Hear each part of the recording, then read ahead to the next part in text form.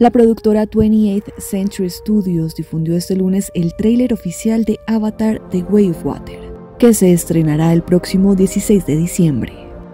La trama de la segunda parte de la saga más taquillera de la historia no ha sido desvelada al completo. Se basará en el mundo acuático de Pandora y estará ambientado más de una década después de los eventos de la primera película.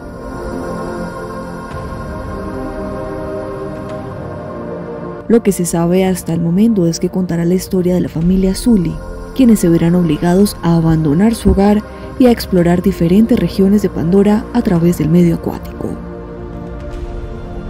Los seguidores de la saga se mostraron especialmente ilusionados en redes sociales con esta producción y hay quienes vaticinaron que puede ser la película de la década.